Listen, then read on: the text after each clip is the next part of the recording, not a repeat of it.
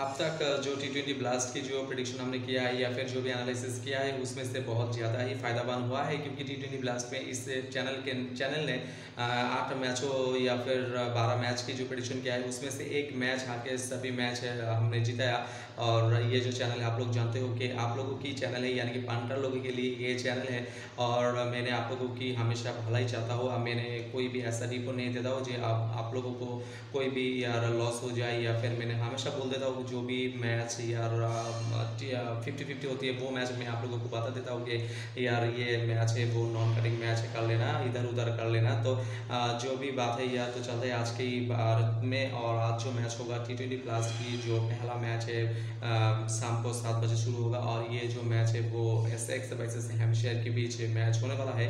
और ये जो मैच है, वो हेमशेयर की ग्राउंड पर होगा सिटी पर होगा तो हेम हेमशेयर के लिए ये एक फ़ायदावान बात है, क्योंकि हेमशेयर अपने होम ग्राउंड पर बहुत ही अच्छी खेलती है, यानी कि अपनी सिटी पर बहुत ही अच्छी खेलती है। और इससे बीच की अगर, इस मैदान की अगर एवरेज की बात किया जाए तो वो है एक से लेकर एक और सेकंड इसकी एवरेज हो सकती है एक से लेकर एक तक हो सकती है। और ये जो हेमशेयर हेमशेयर ने आप लोगों ने देखा है, पिछले मैच में किसी तरह के खेला था चार चार विकेट गिर गई थी, लेकिन फिर भी मैच जीता है हेमशेयर ने। बहुत ही एक अच्छी इनिंग्स गिफ्ट किया था रेगेंस ने, जो पैंतीस बॉलों पर यार, पंचास रन बनाया था और ये जो उसके साथ जो बैट्समैन था, वो भी अच्छी किया है, वो पैंतीस बॉलों पर साठ रन बनाया था। तो ये एक अच्छी बात है हेमशेयर के लिए, जो मिडिल ऑर्डर है मिडिल ऑर्डर बहुत ही अच्छी खेला था और बॉलिंग लाइन भी अच्छी ठीक ठाक थी हेमशेयर की।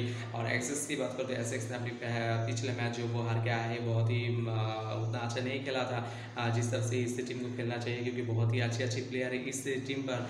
और अगर ये टीम अगर जीतना चाहती है तो इस टीम की बैटिंग लाइन जो है, वो उस पर थोड़ा सा ध्यान देना होगा। एस एक्स की प्लेयर की, क्योंकि एस एक्स की प्लेयर जो है वो बहुत ही अच्छी अच्छी प्लेयर है, लेकिन बैटिंग लाइन थोड़ा सा अच्छा है, मैं बोलूँगा बॉलिंग लाइन ठीक ठाक है, लेकिन जो बैटिंग लाइन है वो थोड़ा सा इम्प्रूव करना पड़ेगा इस एस एक्स को और मिडल ऑर्डर बहुत ही शक्तिशाली बनाना पड़ेगा। और हेमशेयर की जो मिडल ऑर्डर है, वो बहुत ही अच्छी है, बेहतर है बॉलिंग लाइन भी अच्छी है तो मेरे हिसाब से इस मैच की विनर हो सकती है। हेमशेयर की होम ग्राउंड है तो हेमशेयर को थोड़ा सा फ़ायदा मिलेगा तो मेरे हिसाब से इस मैच की विनर हेमशेयर ही रहेगा। हेमशेयर ये टाना दूसरी मैच भी जीते जाएगी।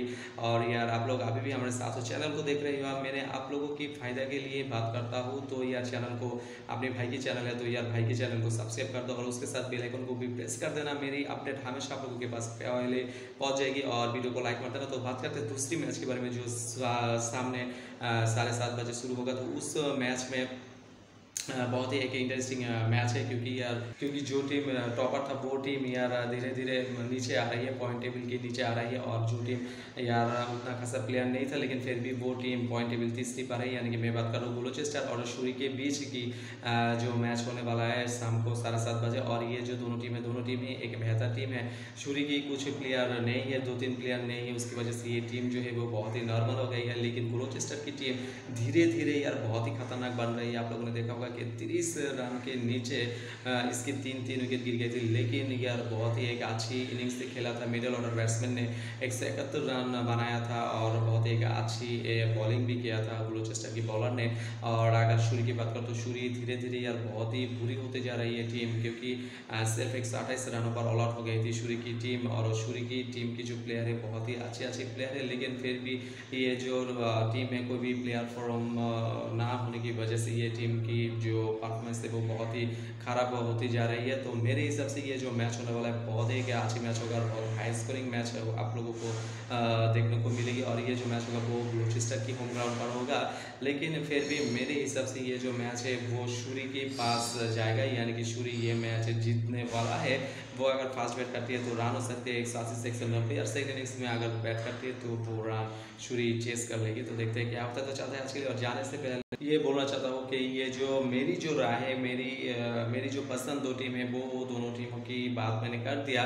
लेकिन आप लोगों की चॉइस है आपकी दिल और आपकी दिमाग जो कहती है वही करना क्योंकि यह दिल और दिमाग एक अच्छी बात कहती है। दिल हमेशा सच्ची बात कहती है और जो भी खेलना या जो भी करना या सोच समझ के करना और ये जो क्रिकेट है क्रिकेट की जो बहुत सारी लीग आने वाला है, जो तमिलनाडु की लीग है या फिर ये जो हंड्रेड की लीग टी ट्वेंटी लीग आने वाला है, जो इंग्लैंड की एक टी ट्वेंटी लीग है।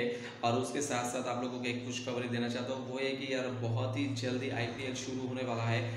तो आईपीएल शुरू होगा और हम लोग ज़रूर प्रॉफिट कमाएँगे। तो चलते आज के लिए और हमारी जो चैनल है, उसको सब्सक्राइब नहीं किया तो सब्सक्राइब कर देना।